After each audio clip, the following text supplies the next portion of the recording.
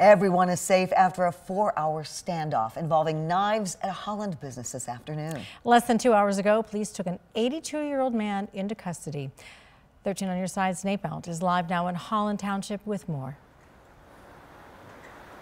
Yeah, guys, as you mentioned, that 82-year-old man taken into custody from right here at Property Law Solutions right behind me. Now, the door's shut. The scene is all gone. Police cleared that tape away about uh, two hours ago, kind of around 4 o'clock. Uh, what we believe was also the suspect's vehicle was in front of the building as well. That has been towed away. Now, police say that this man walked into Property Law Services around 11 this morning carrying a knife and threatening two employees inside. A 34-year-old woman was able to escape, but a 50-year-old old man was held at knife point until police arrived when the suspect was barricaded within, within, within that office. Uh, police fortunately say nobody was injured. That man was able to, uh, of course, get out while the suspect continued to stay inside. Now, we had actually the owner of the law firm did come out here as well, talk to us a little bit. He clarified that the suspect that walked in was a former attorney at this law firm uh, and a friend of the owners said he hadn't worked here in about 10 years. He came in looking for help. It seemed like it may have been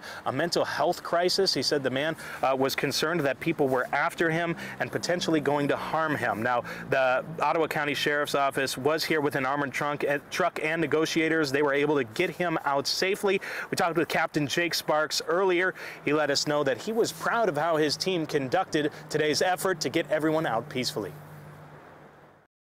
those guys are a blessing. That they'll.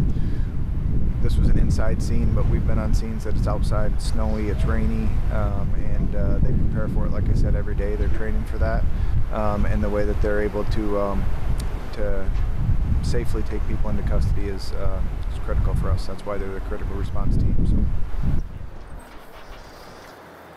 Now, the man whose name has not been released at this time is currently being charged with two counts of unlawful imprisonment, and he's being lodged at the Ottawa County Jail. Reporting live in Holland tonight, Nate Belt, 13 on your side.